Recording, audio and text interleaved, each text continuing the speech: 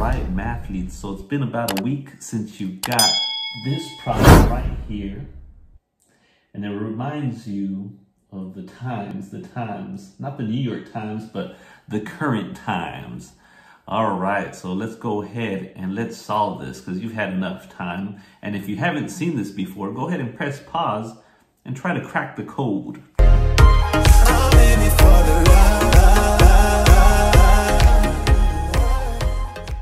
All right, so let's get into business here. So let's look at this problem.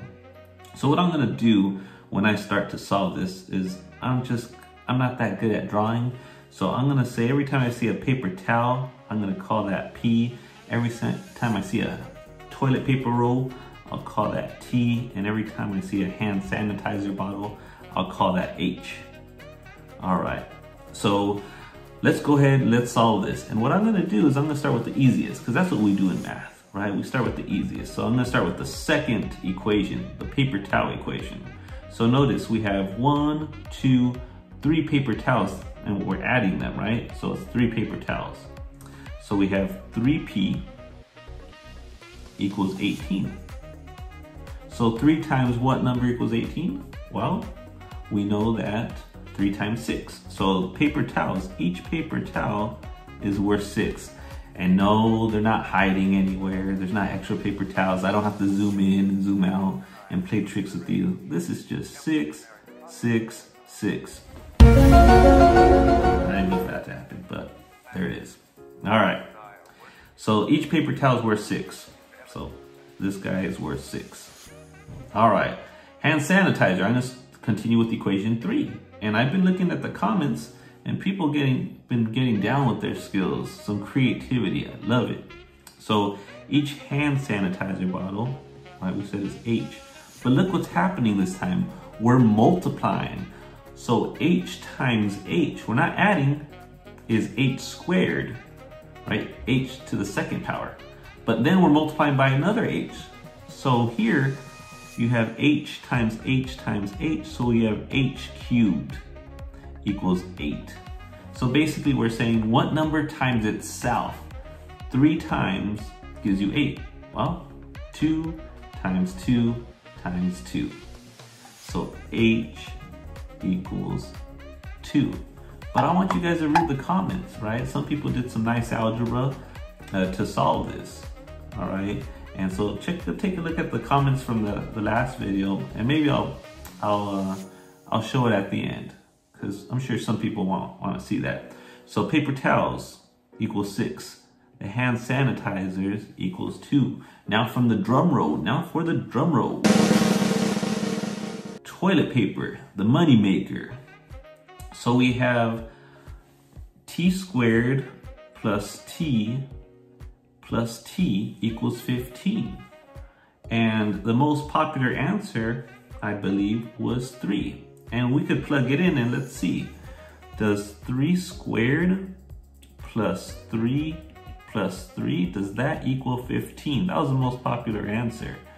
And so let's check it out. So 3 squared is 9. 9 plus 3 is 12. Plus 3 is 15. So they were half right. Oh my goodness. Why half right? That wasn't the only answer. I'll prove it in a minute. So one of the answers, so one of your answers for T, T was equal to three. So let's go ahead and let's go ahead and plug those into our grand finale, our last equation here. All right, so let's see. We know toilet paper is worth six, plus that, sorry, paper towels worth six, plus the toilet paper, which we just found out, one possibility is three, times H, and we know the hand sanitizer is two. So that's six plus three times two, right? You gotta multiply before you add. If you need more help on that, I got a video of the order of operations below. Check it out. So we end up with six plus six. So grand finale of one of our possible answers, our final possible answer for one of them is 12. And that was the most common answer. So good. If you got 12, you were halfway there. But there's one more. Check it out. Show them what they missed, Johnny. So what happens if I let t, right, equal negative 5? So check this out. Negative 5 squared is positive 25 plus negative 5, which now gives positive 20, right? So negative, tw negative 5 squared is 25 plus negative 5. When I add those two, that's going to give me 20. And then plus another negative 5. That grand total is 15. So not only could t equal 3, but t could also equal negative 5. And that's the one people missed.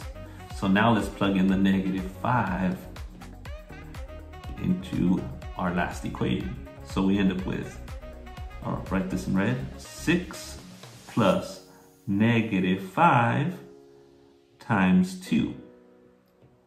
So doing the order of operations, we end up with 6 plus negative 5 times 2.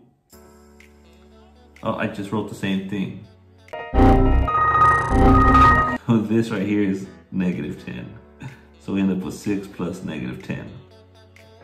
And so 6 plus negative 10 is negative 4. So if you got those two answers of 12 and negative 4, then you are truly a mathlete. All right, folks. So if you want to see what the other folks did, a few of them, very few, uh, they were this close to getting it right. They got the right answers, but their process was a little bit off. But still, freaking awesome job, right, with using your algebra skills. So check out what they did. All right, so let me grab these three equations. Uh, we got t squared, let's just copy it all down. Let's set this to a new page here. All right, so check out what they did. We knew that toilet paper squared plus toilet paper plus toilet paper was 15. That was our first equation. I'm not gonna draw all that. I'm not that great at drawing. Then I knew that paper towel plus paper towel plus paper towel was equal to 18, right? Because each of those paper towels are worth six. And then I knew that hand sanitizer times hand sanitizer times hand sanitizer equals, uh, what did we say that was equal to? Eight. And then our last line where we had paper towel plus uh, toilet paper times hand sanitizer, and that's what we were looking for. All right, so the big question that people want to know is how in the heck did they know to get two answers for this? Well, in math, this right here is a quadratic uh, equation because the biggest exponent you see is 2. All right, so what you do is when you have a quadratic, the most popular technique to solve that, the most popular technique is you set one side equal to 0. So check this out. We have t squared plus here you have t plus t, which is 2t. I need a pencil. 2t. And then what we're gonna do is, uh, I just told you, we set one side equal to zero. So we're gonna subtract 15 to both sides. Whatever you do to one side, you do to the other side. So minus 15. And that is equal to zero. And there's quite a few techniques to solve this. You can use the quadratic formula. Some of you probably had to sing a song to that back in high school. And so you blocked it out of your memory, brought back bad memories. And some of you know how to factor, right? So let's find those mother factors.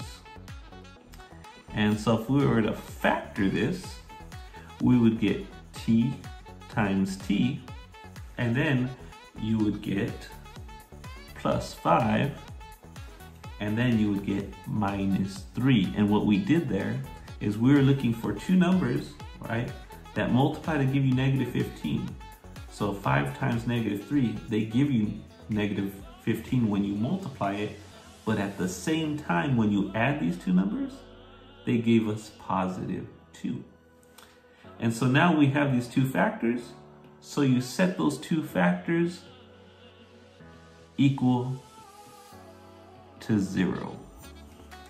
And now you can solve each one. I'm bringing you some of you back to the day. Where were you? What were you doing in your math class? I'm, I'm interested. How was your math experience? And then over here, we're gonna add three, add three. And you get t equals three. So these were our two possible values for the toilet paper rolls, all right? And that's how we solve it algebraically. So hopefully you uh, found this interesting. Some of you like, you took that way too damn far, but it's all good. We got nothing else to do, right? Let's learn some math. so thanks for joining me and we'll see you mathletes in the next video. Peace.